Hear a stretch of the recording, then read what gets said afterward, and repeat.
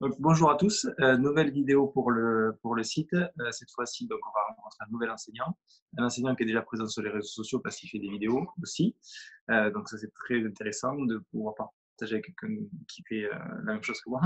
Et, et on voulait, en fait, je voulais faire ce, cette vidéo-là pour qu'on puisse parler un petit peu de ce qu'il fait dans, dans, la vie, de comment ça, ça avance et, et de, de, son souhait de toujours se former pour continuer à, à être un bon enseignant, je pense. Et cette, cette idée-là, c'est l'idée du site, c'est de vouloir toujours vous partager des choses qui, euh, qui vous apportent et qui vous aident pour votre métier au quotidien. Donc, euh, bonjour même. Vas-y, présente-toi. Bonjour à toi. Eh ben, donc, euh, donc, je m'appelle Romain Fossier, donc je suis entraîneur diplômé d'État donc à Montmelon. Donc, c'est une, une, commune de à peu près 5000 habitants dans la Marne. Hmm. donc, c'est un club que j'ai pris en main, enfin qu'on m'a donné les clés euh, il y a 4 ans maintenant. Donc on était 86 licenciés, maintenant 130. Donc un cours couvert, euh, trois cours extérieurs. Euh, donc j'ai été formé en Bretagne. Mmh. Ça fait maintenant 4 ans que j'ai mon DE. bon d'accord. Et donc du coup, continue, tu continues à te former. Tu fais des vidéos, je vois, donc sur le site, sur, ton, sur ta page qui s'appelle Mon entraîneur perso. Euh, que j'ai relayé euh, en début. Là, maintenant, j'essaie de m'axer vers des interviews, mais de temps en temps, ça n'empêchera pas de faire quelques vidéos que tu fais toi. Euh, mais par contre, il y a quelque chose sur le domaine sur lequel on n'est pas intervenu ensemble et que justement, je voulais qu'on y aille, c'est que tu as été formé sur la prépa mentale. Tu t'es formé sur la prépa mentale. Et qu'est-ce que tu qu'est-ce que tu as passé? Qu'est-ce que ça t'a apporté? Qu'est-ce que tu peux nous en dire là-dessus? Alors, bah déjà, donc, je ne connaissais pas du tout le, la, formation faite par LNF, donc c'est les nouvelles formations. maintenant, je suis ambassadeur pour cette formation-là. Je ne connaissais pas du tout et en fait, c'est mon président de club mmh qui m'a contacté, qui me dit écoute, Romain, on, a reçu, on a reçu un mail, ça propose des formations, est-ce que ça t'intéresse? Donc, il y en avait plusieurs. Il y avait nutrition, prépa mentale, physique. Je dis, bah, je peux en choisir une, plusieurs. Il me dit, prends ce que tu veux, nous, derrière, c'est financé. Je dis OK, les membres du bureau ont fait aussi des formations voilà, sur, euh, grâce à NF. Ça, c'est très bien. Ça, c'est important de le relever. Tu as un dirigeant qui te motive, qui te stimule en te disant il y a ça, ça, ça à faire. Et en plus des gens du bureau qui s'investissent et qui, qui passent aussi ces formations-là. C'est énorme. Oui, oui c'est, bah, on a vraiment un, bureau qui est très dynamique sur les réseaux sociaux. Voilà, ça, ça bouge bien. Et là, encore en l'occurrence, on est sur quelque chose qui, qui, innove, qui fait changer, qui fait bouger un peu les codes du tennis. C'est ce qu'il faut qu'on fasse pour que le tennis il vive dans la, nouvelle ère, tu vois. Parce que là, on est, on est encore dans ce qui se fait avant. Et quand les gens voient ça, ils disent Ouais, mais ça sert à rien. Ben oui, dans ton monde, il y a 30 ans, ça sert à rien. Mais maintenant, chez nous, ça va être n'importe quoi. Il va falloir faire ça presque tout le temps. Mais c'est logique, ça va devenir une banalité. Mais pour autant, voilà, c'est très bien. Et euh, donc oui, mon président, voilà, il, me propose pas mal de formations. Donc j'ai fait aussi euh, éducateur sport santé. Enfin, voilà, il m'a proposé plein de formations. Et donc j'ai choisi celle de LNF. Et en plus, il me dit ouais, c'est un e-learning, tu le fais à ton rythme. Alors euh, il y, a, y, a, plein de critiques. Je suis allé en réunion avec d'autres DE. On me dit oui, le e-learning et ceci et cela.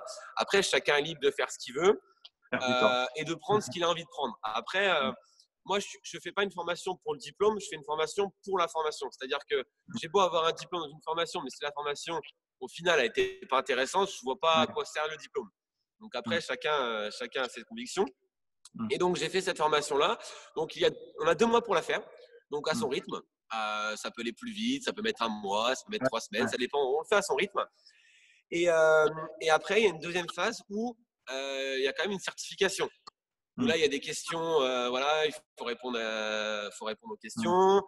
Euh, c'est quand même, euh, quand même, voilà, faut, faut bien avoir retenu la formation. Tu as, de l'entretien avec quelqu'un, un jury, quelque chose C'est juste des questions. Alors, c'est questions en ligne. Il y a des, il y a des comment, il y a des, des exercices entre guillemets à rendre. C'est-à-dire que voilà, je, je, devais mmh. prendre un joueur, tester un questionnaire sur un joueur, proposer des solutions derrière, ils répondent, euh, voilà, ils te disent, voilà, on, donne, on va te donner réponse. Ils te renvoient un mail. Il y a un super suivi. Franchement, super suivi. Et euh, moi, ce que j'en retiens, c'est que je m'en sers à l'heure actuelle pour les entraînements.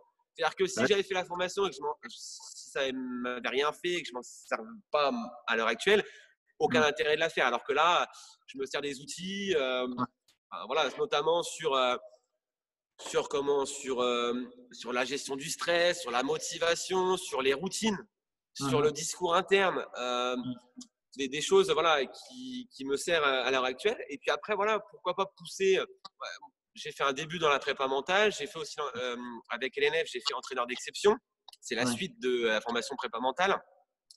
Et pourquoi pas après aller plus loin Pourquoi pas aller rechercher un diplôme universitaire En tout cas, une formation universitaire pour pouvoir voilà, avoir un œil encore plus, plus aguerri, avoir des, des réponses à des questions, être mmh. encore plus précis sur le terrain. Euh, arriver à répondre, arriver à répondre surtout. Euh, après, il faut surtout partir du joueur à chaque fois. C'est partir du joueur. C'est exactement ça. Si on est, dans, si, on, si, nos joueurs, on arrive à les, à les aider et à les, accompagner euh, avec les moyens qu'on a, tant mieux. Mais si on voit qu'on a des lacunes et qu'il y a des choses qui, qui, sur lesquelles on pêche, c'est pas grave, au contraire. Mais ça veut dire que ça nous montre, c'est une opportunité d'apprendre quelque chose d'autre pour l'aider. Et voilà. Tout à fait. Partir, partir des joueurs. Donc, euh, rien ne sert non plus de se former pour se former, parce qu'il y en a, ils vont vouloir se former parce que, ouais, je vais apprendre ça, ça, ça, ça, ça. C'est pas parce que tu sais ça, ça, ça, ça, ça que tu es énorme. Tu vois, si Exactement. Si tu ne peux, pas le, mettre en place chez toi, ça sert à rien.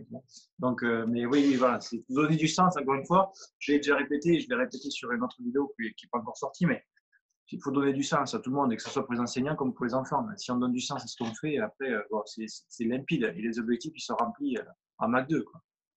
Mais je rebondis sur ce que tu dis. C'est vrai que c'est, le mot moteur, c'est vraiment donner du sens, euh, ah notamment à travers mes vidéos. j'ai, des critiques, j'ai des choses intéressantes, j'ai des choses. Ah tu aurais dû faire ça. Voilà. Il y a des choses. Voilà. Des fois, j'ai des, j'ai des, des commentaires plutôt sympas. C'est-à-dire que on me dit oui, tu aurais dû mettre ça en place. Oui, pourquoi pas. Voilà. Je me dis ouais, c'est, c'est hyper intéressant. Et après, il y a des critiques un peu plus, un peu plus sévères. On me dit ouais, exercice inutile ou autre. Moi, j'ai juste envie de dire que déjà la vidéo, je fais pas de montage. Donc je, je filme, je poste direct, ça me prend deux secondes, ça, ça m'évite de parce que je suis là, je, je suis pas, euh, je suis pas metteur en scène, moi, moi je suis en tennis. Voilà, donc je filme, je poste direct. À la limite, je regarde même pas la vidéo, j'envoie. Euh, après, c'est vrai qu'en regardant, je me dis ouais, effectivement, là, bon, j'essaie de ne pas intervenir sur la vidéo, c'est-à-dire que j'essaie de pas parler. Je laisse l'exercice euh, tel quel, tac. Après, je modifie derrière, donc je filme pas, mais Bien sûr que si l'enfant il a un pied à l'envers ou etc., évidemment que derrière je vais, je vais corriger, mais c'est pas vu sur la vidéo. Et euh, moi en fait, les vidéos, on, peut me les prendre les vidéos, c'est pas un problème. Par contre, il faut qu'elles soient adaptées. C'est vraiment ça le, truc, c'est que moi quand je poste une vidéo ou je poste un exercice que j'ai inventé, parce que le, allez, à 97% c'est un exercice ou même 99%, mmh. c'est des choses créées que je, que, que je réfléchis chez moi. Je, mais c'est adapté pour un joueur, des joueurs en particulier. C'est-à-dire que derrière, euh, quelqu'un qui va le voir va dire Ah non, moi je peux pas faire ça. Peut-être, oui, il peut pas faire ça. Ah, celui-là, ah, je peux peut-être le faire parce que l'enfant que j'ai en cours, ben, il a besoin de ça. Ok, ben, prends l'exercice, prends, C'est ce, que les gens doivent, c'est ce que les gens doivent faire. Ils doivent prendre, dire ok, il va, lui, il le fait comme ça en faisant ça. Ok, ben, moi je vais prendre ça et je vais peut-être, je vais peut-être modifier ces choses-là pour qu'il puisse marcher sur moi. C'est sûr que si les gens prennent les informations bêtes et méchantes du contenu et qu'ils l'appliquent, il y a très peu de chances quand même que ça marche parce que ça ne leur est pas personnel et ça ne leur est pas ancré. Donc ça ne marchera pas. Par contre, s'ils s'inspirent, et ça, il n'y a rien de mal à s'inspirer et d'aller voir ce qui se fait ailleurs, au contraire, c'est ce que moi je recommande et c'est ce que je fais. C'est enrichissant. Ben oui, tu te dis, ah oui, il fait comme ça. Ah, ok, donc alors je vais peut-être prendre ça comme ça, je vais refaire. Ah oui, en fait, ça marche pas. Tant pis, allez, je recommence avec autre chose. Voilà. Et c'est ça qui est intéressant. C'est comme ça qu'on avance. C'est comme ça qu'on améliore sa, pédagogie. Si en, faisant des, en trouvant des choses à droite à gauche et même dans des domaines qui ne sont pas du tennis. Exactement. Ça, c'est hyper important. Ça, il faut, ça, faut vraiment, ça devienne un cheval de bataille. C'est vraiment faire des, euh, arriver à faire des ponts entre les disciplines, qu'elles soient sportives ou non, hein, et pour que les, euh, pour que les mettre en place des choses qui marchent ailleurs, mais qui peuvent marcher chez nous aussi, mais à adapter. Hein. Et, donc, oui, ce, que tu fais, ce, que tu fais, ce que tu fais sur les exercices, voilà, c'est top. Il y en a qui vont te dire oui, qui vont te dire, il y aura toujours des gens qui diront que ça, c'est pas bon, c'est pas bon. Mais c'est pas grave, on verra si ces gens-là, ils font quelque chose. oui, aussi. Et après, voilà, ce que je mets en place, ce qui est intéressant euh, pour mon club, c'est que j'ai un terrain couvert. J'ai un seul terrain couvert. Euh, sur la compétition libre, je suis à 150 matchs, je crois. Alors, c'est pas, le but, c'est pas de faire le plus de matchs possible. Parce que, euh, parce que voilà, moi, moi c'est pas faire de la compétition libre pour de la compétition libre. Moi, c'est de la compétition libre pour préparer les tournois. Mais, mais voilà, j'arrive à faire des choses, à mettre des choses en place sur un terrain couvert. Il y en a d'autres qui m'ont dit dans certaines vidéos, ouais, le matériel, on l'a pas matériel, on peut l'avoir. Je prends des choses basiques. Euh, des fois, je prends des bancs. Des fois, j'ai quelqu'un au club qui me fabrique des choses. Je lui ai déjà demandé de me fabriquer. Euh, donc, euh, David au club me fabrique un, mur avec des formes. Il m'a fabriqué un truc avec des couleurs. voilà, on, peut faire, on peut faire des choses, mais je pense qu'il faut juste être passionné déjà, avant tout. être passionné. Et voilà, après, je, ne critique pas parce qu'on est, on est tous sous contrat, etc.